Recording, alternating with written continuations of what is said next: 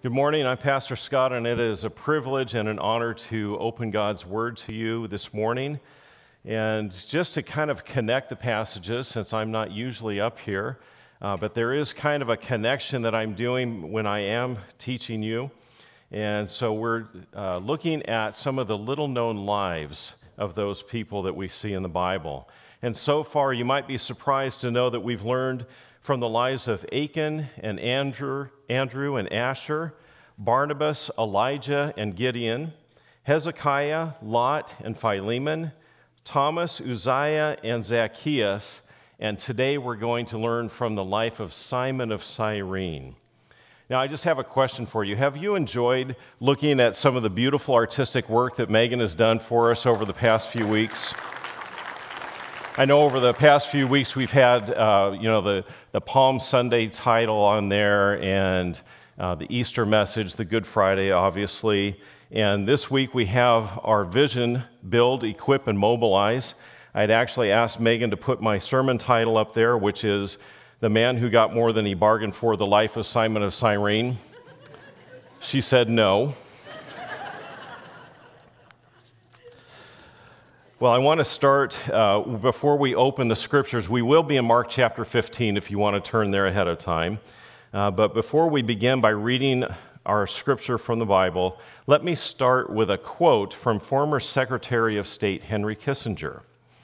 He talks about um, leadership. Okay, so let me quote this for you. Our age finds it difficult to come to grips with figures like Winston Churchill. The political leaders with whom we are familiar generally aspire to be superstars rather than heroes. The distinction, he said, is cr- crucial. Superstars strive for the approval of people, heroes often walk alone. Superstars crave consensus. Heroes define themselves by the judgment of a future they see it as their task to bring about. Superstars seek success in a technique for eliciting support. Heroes pursue success as the outgrowth of inner values. The modern political leader rarely ventures to comment in public without having tested his views on focus groups, if indeed he does not derive them from focus groups. To a man like Churchill, the very concept of focus groups would have been unimaginable. And he concludes by saying, Thus, in the space of a generation, Churchill, the quintessential hero, has been transformed from the mythic to the nearly incomprehensible. Now, let's face it, some men and women are naturally born to distinction. They inherit an honored name, a name that may have been associated with dignity and power for generations. Uh, they have witnessed previous generations of their family rise to the occasion when needed. An example of this would be King Solomon. Solomon was the son of the greatest king of Israel, King David, and he had been chosen early in life to succeed his father to the throne, even though he wasn't the firstborn son. So it's no surprise to us that Solomon became the second greatest king of Israel, only behind his father, King David. Then there are those who seemingly come out of nowhere. No one sees that they will be a great leader. As a matter of fact, no one even expects them to amount to much of anything in their life. But at the right time, they step into a prominent position, and suddenly they are seen by everyone rising to the occasion. The Bible is full of examples of people who were literally unknown and rose to the occasion. This would explain somebody like Jephthah one of the judges in the Old Testament. Jephthah was actually an illegitimate child. His mother was a prostitute. And as an adult, he was driven out of his home and his hometown by his half brothers. You've heard the proverb, bad company corrupts good morals from 1 Corinthians 15. Here's what the Bible said about Jephthah Worthless fellows collected around Jephthah and went out with him. But the elders of Gilead knew he was their only hope of getting out from under the rule of the Ammonites. So they approached him and they made a deal with him. Jephthah succeeded in defeating the Ammonites and then ruled as the judge of Israel for the rest of his days. There's yet another group of leaders. those who win distinction for themselves. There's nothing remarkable about them to begin with, but when we look back on their beginnings, we can see how God was preparing them for greatness. Eventually, they demonstrate that they have qualities that are quite extraordinary. By their character, they command the attention of others and they rise to distinction and fame. Now, for this example, I want us to look at the life of somebody who lived uh, less than 100 years ago, Corrie ten Boom. The Ten Boom family were devoted Dutch Christians who dedicated their lives in service to God and to their fellow man. The Ten Booms were active in social work in Haarlem, and their faith inspired them to serve the religious community and their fellow citizens in Holland. During the Second World War, the Ten Boom home became a refuge, the hiding place for fugitives and those hunted by the Nazis. By protecting these people, Casper the father and his daughters who still lived at home, Corrie and Betsie, risked their lives. This nonviolent resistance against the Nazis was the Ten Booms' way of living out their Christian faith. During 1943 and 1944, there were usually five to six people every day that were hiding in their home. Some of them were Jews, others were members of the Dutch underground. Additional refugees would stay with the Ten Booms for a few hours or even a few days until another safe house could be found for them. Through these activities, the Ten Boom family uh, saved an estimated 800 lives. On February 28, 1944, the Ten Boom family was betrayed by somebody claiming to be seeking refuge, and the Nazi secret police raided their home. That day, more than 30 people were arrested, including Casper, Betsie, Corrie, two more siblings, Willem and Nolly, and their nephew Peter, who were all at the house that day and were taken to prison. Although the Nazis arrested many people, they couldn't find the people that they had actually come to arrest. Safely hidden behind a false wall in Corrie's bedroom were two Jewish men, two Jewish women, and two from the Dutch underground. Although the house remained under guard by the secret police, members of a local resistance group were able to liberate those refugees from the hiding place 47 hours later. The four Jews were taken to new safe houses, and three of them survived the war. Of the underground workers, one of them was killed during the war years, but the other did survive. Ten days after his arrest, the father, Casper, died in prison. Betsie and Corrie were eventually transported to the, the notorious Ravensbrück concentration camp in Germany. Life at Ravensbrück was almost unbearable, but Betsie and Corrie spent their time sharing the love of Jesus with their fellow prisoners. Many became Christians in that terrible place because of Betsie and Corrie's witness. Betsie died at Ravensbrück, but Corrie survived. After her release from Ravensbrück at the end of the war, Corrie traveled all around the world to tell people there is no pit so deep that God's love is not deeper still. Over the next 30 years, Corrie visited more than 60 countries to testify to God's love and to encourage people with the message that Jesus is victorious. On April 15, 1983, on her 91st birthday, this remarkable woman died in Orange, California. By the way, Orange, California is where I was born and raised. I strongly believe that every person here needs to read that entire fascinating story called The Hiding Place. Now, back to our categorization of people that God uses. Remember, first were those who were born to distinction. Next are those no one ever saw as a leader, even with the help of looking back in time. Then there are those who win distinction for themselves. And now, for one more class of leaders, a very small group. It is composed of unknown people who have honors thrust upon them without an effort or even any desire on their part. They are often unwilling to accept the part being assigned to them and actually feel that it is a burden more than a pleasure or an honor. Simon of Cyrene belongs in this last class of people. Among the throngs gathering at Passover, he was just another nameless pilgrim. Yet on that day, he was forced to become distinguished in spite of himself. So now we're going to look at our passage in Mark chapter 15. We're going to begin at verse 12. So I encourage you to open your Bibles or, or open your app on your phone with a Bible there. If you don't have either of those, there is a Bible in front of you in the pew rack. And I'll give you a hint it's on page 801. Mark chapter 15 beginning at verse 12. And we're going to read uh, the passage that surrounds the one verse that Simon is mentioned in so that we get the context.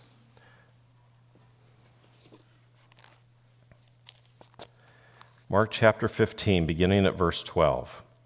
And Pilate again said to them, Then what shall I do with the man you call the king of the Jews? And they cried out again, Crucify him! And Pilate said to them, Why? What evil has he done? But they shouted all the more, Crucify him! So Pilate, wishing to satisfy the crowd, released for them Barabbas, and having scourged Jesus, he delivered him to be crucified. And the soldiers led him away inside the palace, that is the governor's headquarters. Sometimes that's called the praetorium, that's the Latin word for it. And they called together the whole battalion, and they clothed him in a purple cloak and twisted together a crown of thorns, and they put it on him. And they began to salute him Hail, King of the Jews! And they were striking his head with a reed and spitting on him and kneeling down in homage to him. And when they had mocked him, they stripped him of the purple cloak and put his own clothes on him, and they led him out to crucify him and they compelled a passerby, Simon of Cyrene, who was coming in from the country, the father of Alexander and Rufus, to carry his cross. And they brought him to the place called Golgotha. That's the Aramaic word for it. It means the place of the skull, and you may know it as Calvary, which is the Latin word. Now, I also want to read uh, the two other gospel accounts that talk about Cyrene. I'm just going to read the one verse uh, that, that, uh, that Simon has talked about. And so the first one is Matthew chapter 27, verse 32. As they went out, they found a man of Cyrene, Simon by name. They compelled this man to carry his cross. And then in Luke chapter 23, verse 26. As they led him away, they seized one Simon of Cyrene who was coming in from the country, and they laid on him the cross to carry it behind Jesus. That's it. Three verses in the Gospels. And when I went to look in a Bible dictionary, that wasn't much help either. There were two sentences. Uh, so that's why I really wanted to look at this whole context to be able to pull this together. So Simon had traveled a long way to celebrate the Passover in Jerusalem. He came from Cyrene, which was a city in North Africa. There should be a map up there on the screen behind me. Uh, this is close to the city, the modern day city of Tripoli in the country of Libya. And so you can see how far away those two are. Uh, Cyrene is there on the bottom, way over here to the left, and then Jerusalem is way over to the right of the screen. This was a city where a colony of Jews had been established a long time before. And as Simon set out on his journey uh, to celebrate the Passover in Jerusalem, which many people did, he had no idea what he would encounter that day. The timing of Simon's arrival as he walked into Jerusalem was remarkable. He could not have known that he would end up carrying a cross for a condemned man before the day was over. And I believe that if Simon had suspected anything like that, that he either would have stayed in Cyrene or at least would have waited several hours before entering Jerusalem. Carrying the cross of a condemned man was not something that he would have had any interest in. And yet, Simon became famous that day for that very reason. There's only a very brief mention from the gospel writers about Simon. If we take them all together, it gives us a better picture of what took place that day. We see that horrible, ghastly procession of Jesus' crucifixion on its way from the praetorium to Golgotha. Jesus was walking in the midst of the soldiers, and accompanying him were two thieves who had been condemned to the same kind of cruel death.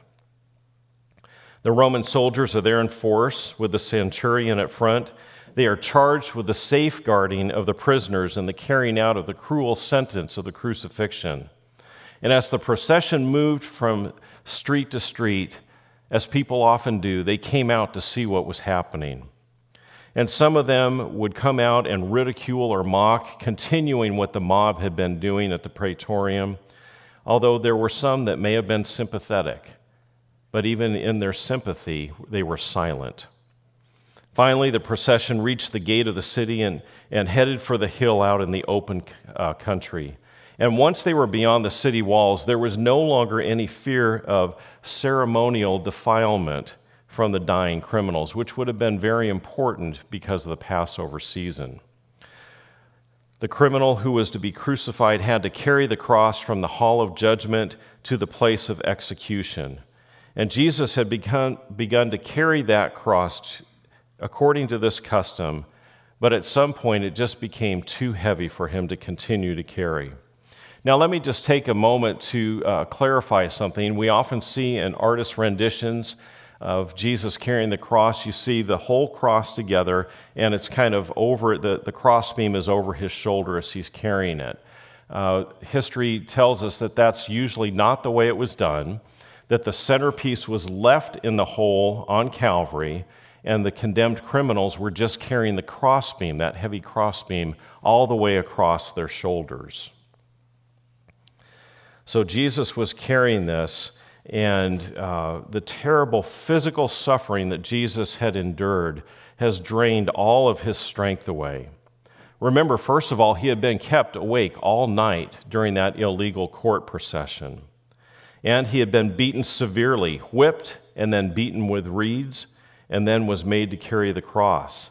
So he would have been weak from trauma and from loss of blood and he was unable to carry the cross any further, so Simon was conscripted to help. Now the soldiers have a problem.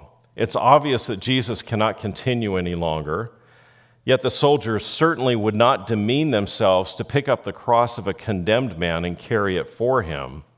Nor will the Jews do anything to assist, because they would have vehemently rejected the idea of touching that accursed piece of wood which was the symbol of Roman authority that they despised. So the soldiers are looking around for someone, someone that they could press into service. And at that moment, they see Simon of Cyrene. What made him stand out? Well, he was probably Jewish, either by descent or because he had converted to Judaism. But it's also possible that he could have been black, of Libyan descent and had converted from whatever religion or no religion to Judaism. If that's the case, what made him stand out was the color of his skin. But we also know that there were many Jews that had been transplanted to Cyrene. And so it's possible that he had olive colored skin just like everybody else that was around Jesus that day. And so, what would have caused him to stand out? Well, all I can think of is that it was his clothes. Being from a different country, he probably dressed differently. Now, if this describes Simon, then what made him what made them choose him, a foreigner, and press him into service? Now, from a merely human perspective, we might simply say that Simon was in the wrong place at the wrong time. Of course, those of us who believe that God the Father ordains all things, and especially all things concerning a Son, we would say that it wasn't luck, bad luck, but it was God's providence. From the Romans' point of view, their laws permitted the soldiers to press any Roman subject into immediate service. Simon was on his way into the city, and I'm, I'm sure that as he was going, he was rejoicing that he could actually celebrate the Passover this year in the holy city. And here is the divine Passover lamb coming out of the city gate to meet him on his way to be slain on Calvary. Could it possibly be that Simon would see in that procession the fulfillment of his greatest hopes? Jesus was stumbling and ready to fall under his heavy cross, the cross that he was going to die on. Could this be the glory of Israel, the long awaited Messiah? I'm sure Simon had heard rumors that the Messiah had actually come. Maybe he put these together. Simon could have been wondering as he traveled into Jerusalem could the Passover lamb that was associated with the Jews' deliverance from Egypt, could that be just a type of the Messiah? When Simon encountered Jesus, was he encountering the fulfillment of what was portrayed in the Passover lamb? We have reason to believe that this is exactly what Simon came to know and experience that day. What Simon what caused Simon to take that particular route that brought him face to face face with Jesus carrying his cross just at the moment that he was needed. Again, it was God's divine providence. Because if he had delayed even just a moment or two in his journey, he would have been too late for that so called chance meeting. Simon found something that day that he had never expected to find, but from that point on, it had become the treasure of his life. Making Simon carry the cross may seem like kindness, perhaps even mercy at best on the part of the Roman soldiers. Or could it be seen merely as a practical measure? I mean, somebody had to carry the cross, right? And Jesus couldn't do it any longer.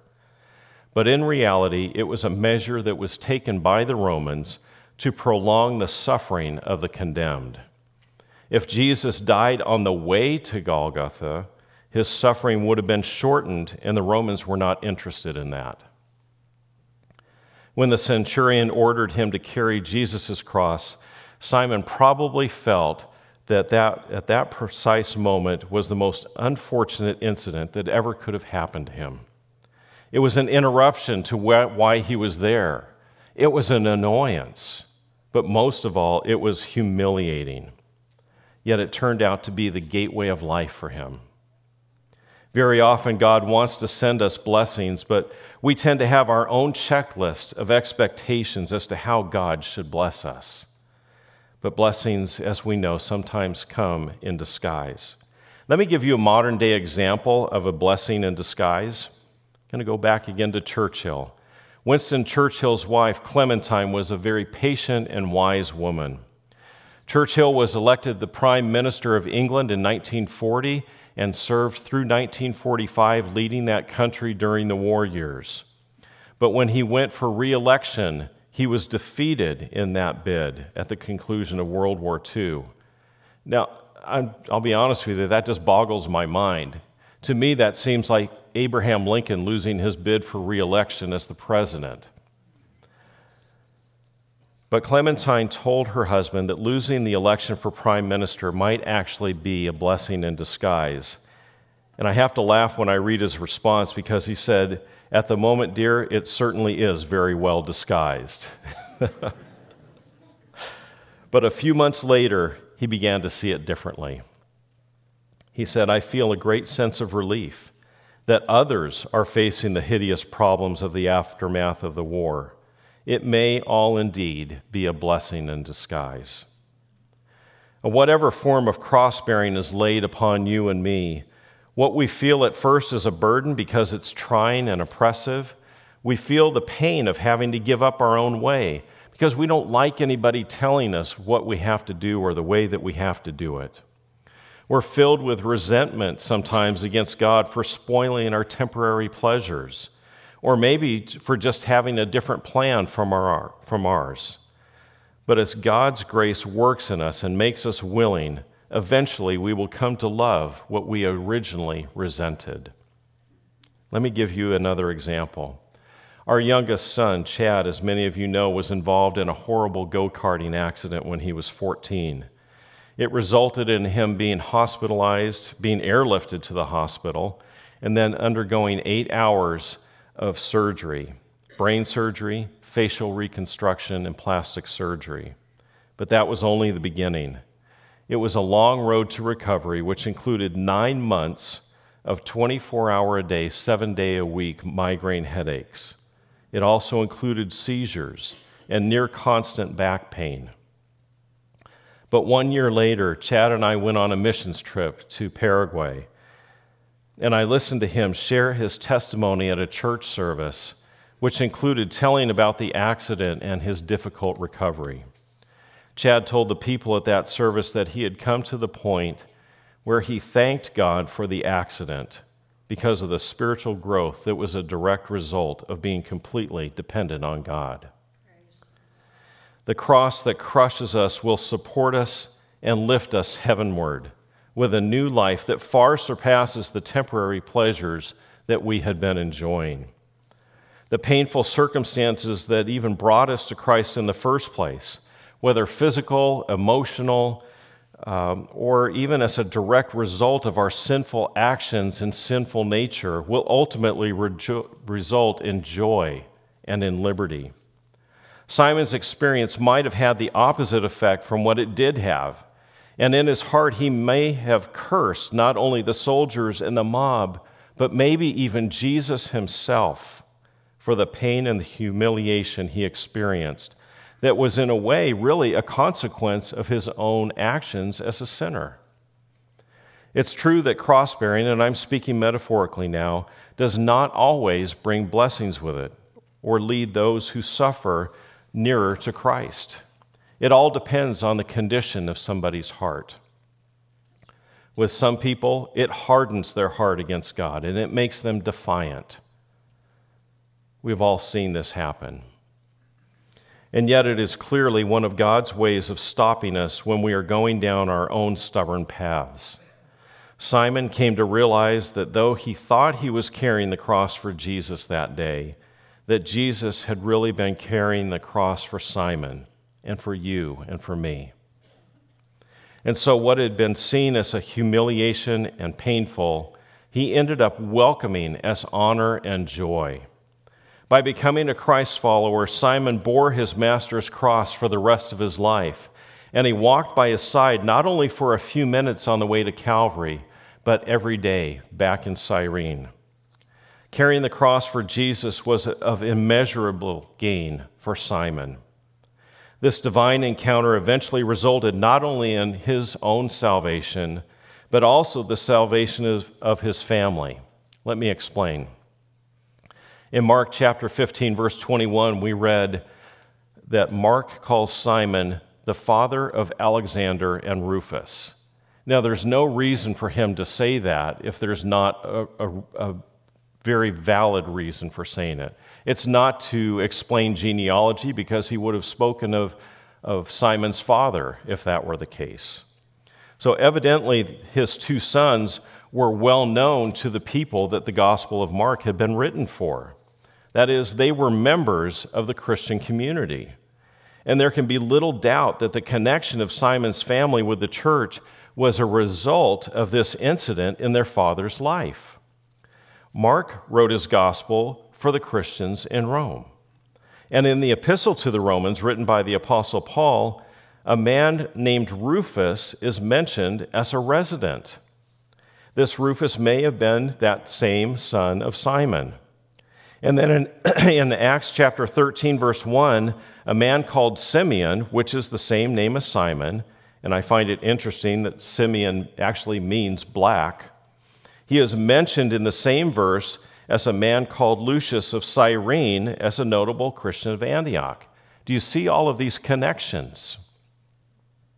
So I believe we have sufficient, clear indications that as a result of this encounter with Jesus on that day, that Simon became a Christ follower. If you were to look at Rembrandt's painting of the three crosses, your attention would be drawn first to the center cross on which Jesus died. Then, as you would look at the crowd gathered around the foot of that cross, you would be impressed by the various facial expressions and the actions of the people involved in the crucifixion of the Son of God. Finally, your eyes might drift to the edge of the painting and catch a sight of another figure almost hidden in the shadows. Some art critics say that this is a representation of Rembrandt himself because he recognized that by his own sins that he also was responsible for Jesus being nailed to the cross. Can you see yourself in that scene? Do you recognize that by your sins you also nailed Jesus to the cross? Have you ever known somebody who refused to accept any help whatsoever? That person might say, I don't need your charity, or maybe I can do it myself. We may respect that person's commitment to not being dependent on other people. However, this perspective may, in fact, be a symptom of spiritual problems that could be holding them back. The Great Divorce is an allegorical look at eternity. And in it, author C.S. Lewis describes a character who wants nothing more than his rights. He wants only what he deserves, no more and no less. And on the surface, this appears to be an act of humility. However, his attitude is one of false humility and is actually motivated by pride. In a similar way, if we are determined to solve problems on our own, then we will fail miserably, especially when it comes to the issue of sin. Romans 3:23 makes it clear that sin is everyone's problem, for all have sinned and fall short of the glory of God. And the price to be paid for sin is death. In Romans 6:23 we read, "For the wages of sin is death, but the gift of God is eternal life through Jesus Christ our Lord." If we, like that proud man in the great divorce, accept only our rights, then sin and death will control our life. We can overcome it only with true humility in accepting what we don't deserve the loving sacrifice of Jesus Christ on our behalf. And you can do that by admitting to God your own inadequacy to live a righteous life and to confess that Jesus Christ is the perfect Son of God and to believe that He came to pay the penalty for our sins, and you will be saved. Now, sometimes we throw religious terms around almost haphazardly, sometimes interchangeably. Take, for example, the words faith, grace, repentance, and salvation. We need to understand the distinctions. Let me give you an example from the movies. Last year marked the 40th anniversary of the Indiana Jones franchise. And in the movie Indiana Jones and the Last Crusade, there is a scene towards the end where Indiana is hanging by a single hand at this chasm. And with the other hand, he's reaching out to a goblet that supposedly once held the blood of Christ. As the tips of his hand just graze the edge of the goblet, he's grunting, I can just about reach it. But above him is his father who reaches out, pleading, Junior, take my hand. Take my hand. Finally, his father tells him to let it go, and Indiana reaches up for his father to take his hand. Now, when Indiana's father reaches down to offer rescue, that's grace. When Indiana lets go of his pursuit, that's repentance. And when he reaches back up to his father to take his hand, that's faith. And when his father lifts him up from the chasm, that's salvation. God the Father is reaching out to you in grace. Are you willing in repentance to let go of what you think is so important in life?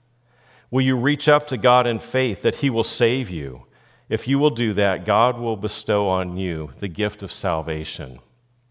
If you want to be unhappy, then have unconfessed sin in your life. Happiness does not come from sinning. Misery, guilt, and repercussions are what come from sinning. This is why the Bible says, Oh, what joy for those whose disobedience is forgiven, whose sin is put out of sight. After King David sinned against the Lord, he wrote, Restore to me the joy of your salvation and make me willing to obey you. And Jesus said, Apart from me, you can do nothing.